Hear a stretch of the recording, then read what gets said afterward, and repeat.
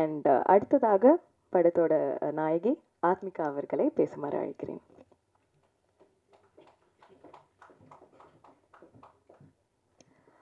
Present media அனைவருக்கும் வணக்கம்.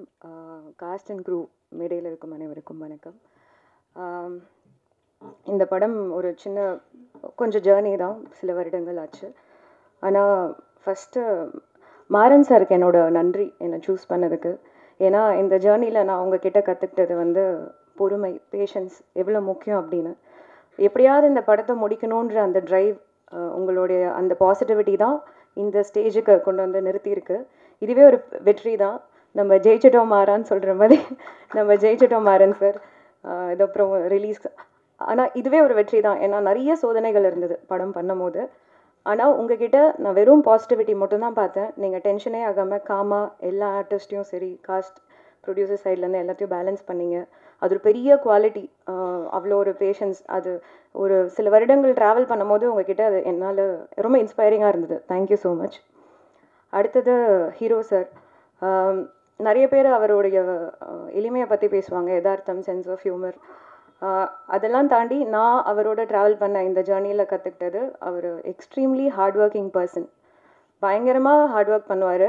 ஆனால் என்னதான் அவர் சிரித்தாலும் இது பண்ணாலும் பயங்கரமாக ஹார்ட் ஒர்க் பண்ணுவார். அது வந்து அவ்வளோ ஈஸியாக தெரியாது. நேற்று கூட இன்டர்வியூஸில் நிறையா பேசிகிட்டு இருந்தோம். ஒரு ஒருத்தவங்க கேள்வி கேட்டாங்க. என்ன சார் எல்லாமே இருக்குது உங்களுக்கு. என்ன வேணும் இதுக்கு மேலே அப்படின்னு. ஆனால் இந்த பணம் புகழ் பேர் இதெல்லாம் தாண்டி ஏதோ ஒரு ஃபேக்டர் ஒரு வேல்யூ அவரை வந்து கொண்டு போகுது. அது வந்து ஒரு அவர் வந்து திருப்பி கொடுக்கணுன்ற அந்த எண்ணம்.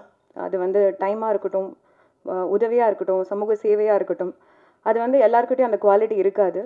ஸோ நீங்கள் என்னதான் சிரித்து கூலாக இருந்தாலும் அதுக்கு பின்னாடி வந்து ஒரு எக்ஸ்ட்ரீம்லி ஹார்ட் ஒர்க்கிங் பர்சனை பார்க்குறதுக்கான ஒரு வாய்ப்பு கிடச்சிது. Thank you for being very inspiring producer sir கண்டிப்பாக தெரியும். அது ஒரு, ஒரு சேலஞ்சிங்கான விஷயம். பட் நீங்களும் எப்படியாவது படத்தை முடிக்கணும்னு இந்த தூரத்துக்கு கொண்டு வந்து விட்டுருக்கீங்க. ரொம்ப ரொம்ப நன்றி. அடுத்தது சித்து மியூசிக் டைரக்டர் ஒரு ஸ்ட்ரகிளிங் டைம்ஸ்லேருந்து எனக்கு அவரை தெரியும். ஷார்ட் ஃபிலிம்ஸ்லாம் நான் பண்ணிகிட்டு இருந்தேன். அவரும் ஷார்ட் ஃபிலிம்ஸ் பண்ணிகிட்டு இருந்தார்.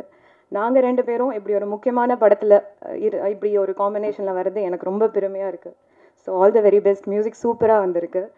அண்ட் இப்போ தான் நான் எல்லாரோடைய கோ ஆர்டிஸ்ட்லாம் பார்க்குறேன் படத்தில் எனக்கு காம்பினேஷனே கிடையாது. ஸோ எல்லாருக்கும் ஒரு hi thank you so much and lyrics ரொம்ப சூப்பராக இருந்தது. குரு குரு நிறைய பேர் சொன்னாங்க. மதுரையிலேருந்து கோயம்புத்தூர்லேருந்து ரொம்ப யதார்த்தமாக இருந்துச்சு அப்படின்னு. அண்ட் செகண்ட் சாங் இப்போ தான் பார்த்தேன்.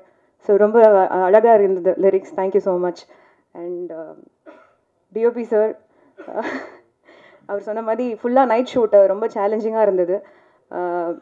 இந்த தெரியல ஐ மீன் ஸ்ரீதர் சாரும் இருந்திருக்காரு ஒரு சின்ன கான்ட்ரிபியூஷன் ஸோ எல்லாருக்குமே ரொம்ப ரொம்ப தேங்க்யூ கண்டிப்பாக எல்லாரும் மார்ச் பதினேழு தேட்டரில் போய் படத்தை கண்டிப்பாக பார்த்து சப்போர்ட் பண்ணுங்கள் ரொம்ப ரொம்ப நன்றி.